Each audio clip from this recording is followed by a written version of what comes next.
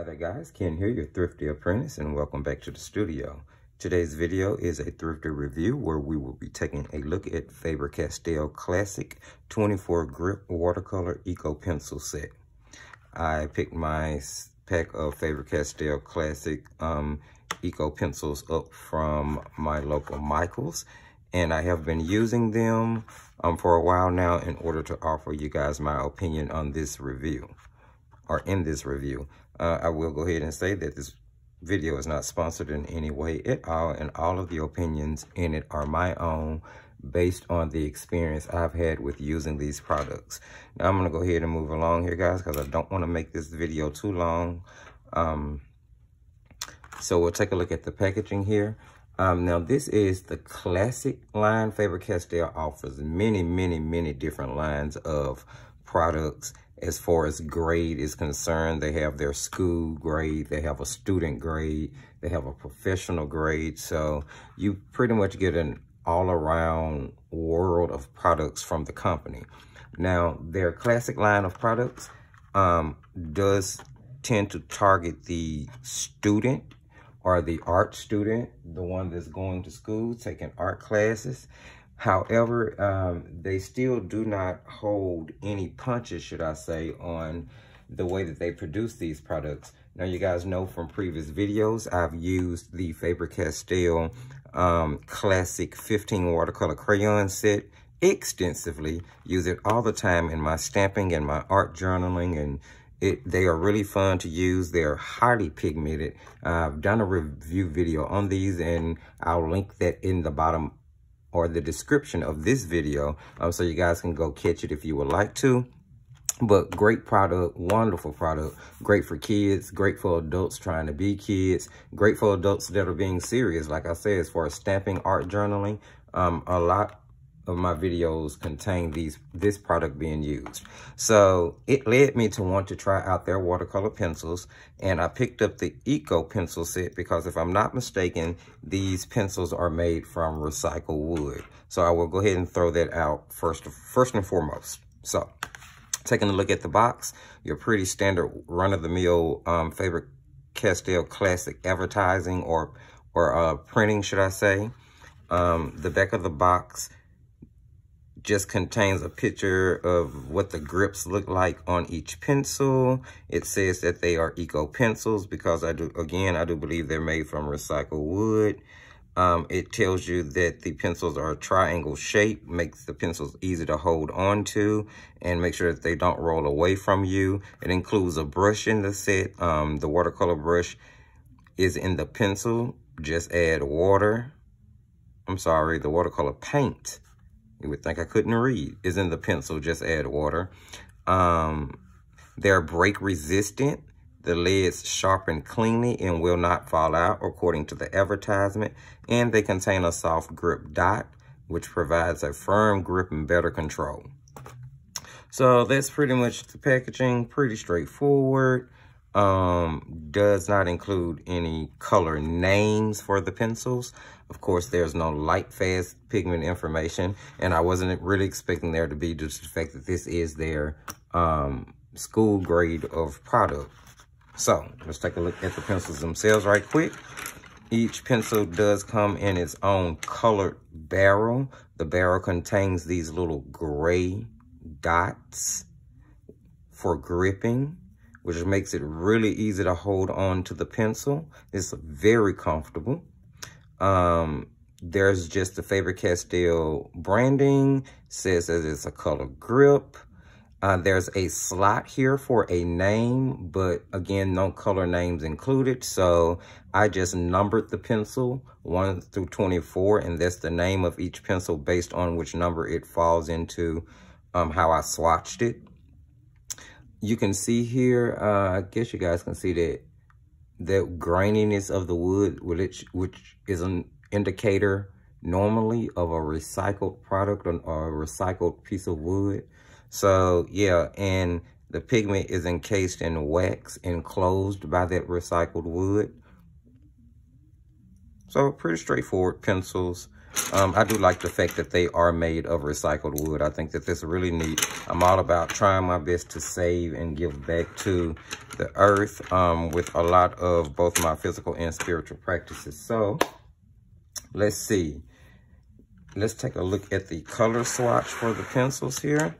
And I just swatched them out on a really small piece of of watercolor paper here just because I wanted to get a general feel of what each one looked like as I was going to be using it. Um, the colors are really bright um, for watercolor pencils, especially being in the economy class, being a kid's grade, I think the colors are really vibrant and, and, and saturated. Um, they do have sort of a, I don't know, maybe a semi-chalky or or maybe, I don't know, a kind of granulated texture to them, which I'm really not used to because that wasn't in like the Artist Loft brand that we reviewed.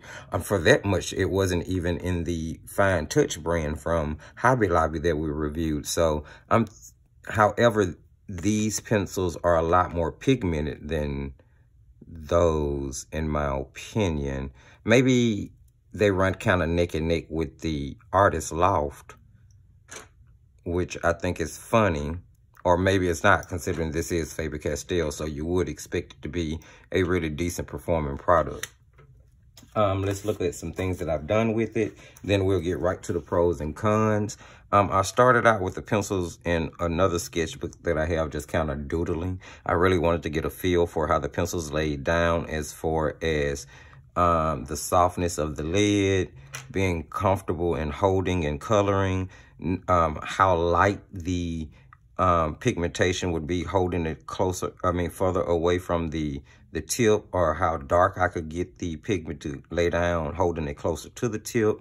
I wanted to see how they would blend, um, just how opaque they were so that I could see how much layering could be done. So basically, I started out just playing around with the pencils in every aspect that I possibly could to see what I could achieve with them.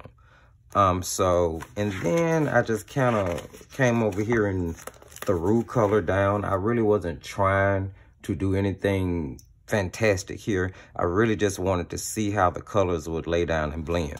Now, I must admit, these particular pencils I don't really like that much on this mixed media paper. This is the uh, Canson XL mixed media paper. I'm not the hugest fan of these pencils on this particular paper, but it um, did lend to giving me a feel, a general feel initially of how the pencils will perform. So after um, playing around, I decided I would do an actual painting with just the pencils. And I did this in my Jane Davenport book, um, art, um, art journal book. And it is this one. And this was the full painting that I did with the pencils. I love the way they perform on this paper. And um, I think it's because this paper has more sizing on it. So it grips the pigment from the pencil more.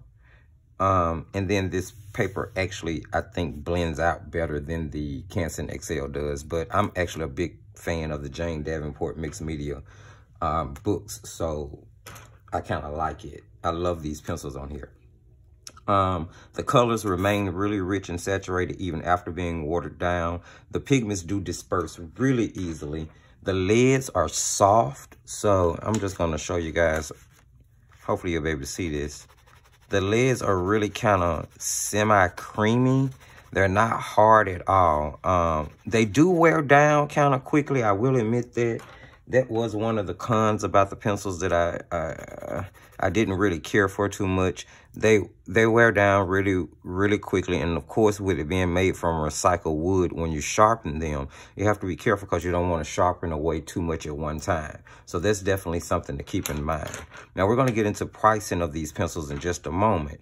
But I did want to throw out all of the major facts that I've experienced in the performance before we talked about that. Um, Again, they stayed saturated. The black is actually pretty opaque. Um, it lends to really great shadowing and silhouetting. Um, this landscape turned out really well. The water, I think, turned out beautifully. And I really just used shades of purples and, and violets more so than anything in this composition. So I was really pleased with the way that this turned out and the way that the pencils perform um, using limited colors. However, I was still able to blend different shades and you um, different colors or different shades of colors, excuse me, and you're able to see each shade stand out as well as blend in. So I'm really happy with that performance. And then, of course, the very last tutorial to go up on the channel was a watercolor pencil tutorial where um, I took you guys on a journey to paint this slice of watermelon and this glass of watermelon lemonade. Now, this is a prime example or a very fine example, should I say, of why YouTube creators should actually practice what they're going to do on film before they do it. Um, and I really should have practiced this because I made some pretty big boo-boos in it. My glass of lemonade is leaning. There's no shadowing the way that there should be, especially um, grounding the focal images to the table that's up under it. Um, I really didn't put in the background that I wanted to.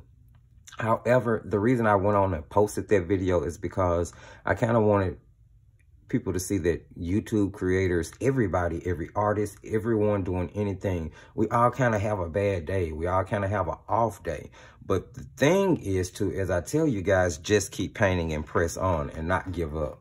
So I did go ahead and post that video. And despite all of the little mishaps I may have had, I hope you guys were able to pick up something and that you're were able to add to your own art journey. So I love the way they performed in this despite all of the mistakes that may have been made. I mean, I did the entire composition and nothing but the Eco pencils, and I was really pleased with them. Um, I'm really pleased with these pencils overall. Straight up, there's not many cons to them other than the fact that there is no light fast information included with the pencils. So you know that they're not of a professional grade. So they are not something that I would suggest for any major artwork. Um, anything that's going to maybe be exposed to constant sunlight or or harsh lighting, anything that you're planning on selling or hanging in a gallery, maybe no, this is not um, the set that you would go out and purchase. However, if you're a beginner, if you are someone who's looking for a really economical pencil to add to like your travel set, um, or add to just your collection so that you'll have something to do, paint within your art journals and, and your cards that you may, I really recommend this set. I think they're really good pencils. Um, highly pigmented, very economical. Let's talk about price right quick. And we'll also do some comparison them to the other ones we've reviewed on this channel. Now, um, you cannot find the Eco pencils at Joann's or Walmart. I, I'm sorry. I'm, I'm so sorry. You cannot find the Eco pencils at Hobby Lobby. I was only able to find the 12 pack at Joann's and Walmart. But I was able to source three sites that had the 24 pack of Eco pencils listed. That was Jerry's Artarama, Amazon, as well as Michael. Now on Jerry's, the 24 pack is $11.99. Um, of course, you have to pay shipping unless you meet their free shipping criteria. Um, on Amazon, the pencils are $13.97. Again, if you're a Prime member there, you get free shipping. If not, then criteria is to be met. And at Michael's, you're able, I was able to walk into my Michael's, so they are actually in Michael's store stores. Um, and I'm sure they're in J Jerry's stores as well or you can get them at Michael's online. Now, um, at Michael's, they are listed for $15, but of course, you know, you get to use a 40% coupon in store and most of the time online. So the pencils break down to um, only $9 for the pack of 24. So Michael's, from what I was able to see, is the cheapest place to pick them up in combination with the coupon. Um, so very affordable, very affordable pencils. Um, great as far as the fact that they're uh, targeting recycling and trying to keep the earth clean. The pigmentation from the pencils are really bright and vibrant and saturated. They hold well once the pigments are dispersed and watered down in water. Um, they are opaque enough to be opaque, but they're also transparent enough to layer and lift, if that makes any sense. And again, I think those are great qualities for these to be such an economical pencil. Now, let's just take a look at the color swatches and comparisons to other things. Now, the very first one we ever reviewed on this channel was the Fine Touch, which is a house brand by Hobby Lobby. And in comparison, um, I would definitely give the point to Faber-Castell. Um, more pigmentation, more saturation in the color, and less um, depletion of color when water is added to disperse the pigments. So over, if I had to choose one or the other, it would definitely be the Faber-Castell. Um, next, we looked at a crafting brand, which was pen and paper, which can only be found at Books A Million. Um, but I thought they these were a really great performing pencil at the time that I got them. And for them to be coming from a crafting company, I thought that the colors were really saturated with them as well. And when you hold them up against the Faber-Castell, I have to be honest, I will say that the pen and paper kind of gives the Faber-Castell a run for their money. Um, other than the fact that the Faber-Castell are more accessible. And for that reason, I recommend them over the uh, pen to paper. Uh, next was the Artist Loft brand, um, which is a house brand by Michaels. Now, I'll lay these side by side so you guys can see these here. I think that the colors are actually really, really comparable. These brands are really comparable to me. Uh, the saturation and the colors are really comparable to me. Um, the, they withhold the same information, no light fast, no pigment information. The advantage that the Artist Loft has over Faber-Castell is that they actually have color name on the barrels. It, it's really that simple. Faber-Castell doesn't. So um, a little information away. If color names on the barrel is something that's important to you, then you may lean more so towards the Artist Loft. If not, then you would, could probably lean to pick up either one. Although I will admit the Artist Loft is probably going to be cheaper because these pencils, regular price, are $5.99 and you can use the regular 40% off Michael's coupons. So you're definitely going to get more bang for your buck with the Artist Loft. And that is it. So those are the pencils that we reviewed on this um, channel so far. So yeah, guys, um, pretty straightforward video. Definitely suggest them. Definitely recommend them if you're in the market for a really economical watercolor pencil.